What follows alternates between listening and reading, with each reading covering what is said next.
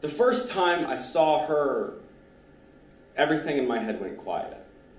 All the tics, all the constantly refreshing images just disappeared. When you have obsessive compulsive disorder, you don't really get quiet moments. Even in bed, I'm thinking, the doctor yes, the watchman's yes, the doctor yes, the watchman's yes. And when I saw her, the only thing I could think about was the hairpin curve of her lips, or the eyelash on her cheek, the eyelash on her cheek, the eyelash on her cheek. I knew I had to talk to her. Astrod six times in 30 seconds. She said yes after the third one, but none of them felt right, so I had to keep going. On our first date, I spent more time organizing my meal by color than I did eating or talking to her. But she loved it. She loved that I had to kiss her goodbye 16 times or 24 times if it was Wednesday. She loved that it took us forever to walk home because there are lots of cracks on our sidewalk. When we moved in together, she said she felt safe, like no one would ever rob us because I definitely locked the door 18 times.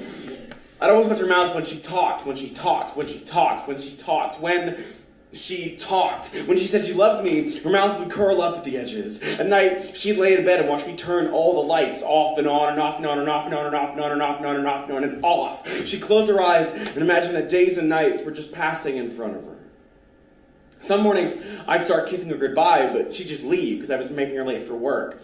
When I stopped at a crack in the sidewalk, she kept walking. When she said she loved me, her mouth was a straight line. She told me I was taking up too much of her time. Last week, she started sleeping at her mother's place. She told me she shouldn't have let me get so attached to her. This whole thing was a mistake, but how can it be a mistake that I don't have to wash my hands after I touch her? Love is not a mistake. It's killing me that she can run away from this and I just can't. I can't go out and find someone new because I always think of her. Usually, when I obsess over things, I see germs sneaking into my skin. I see myself crushed by an endless succession of cars, and she was the first beautiful thing I ever got stuck on. I want to wake up every morning, think about the way she holds her steering wheel, how she turns shower knobs like she's opening a safe, how she blows out candles, blows out candles, blows out candles, blows out candles, blows out candles, blows out.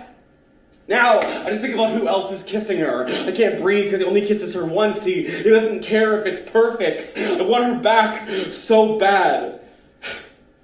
I leave the door unlocked. I leave the lights on.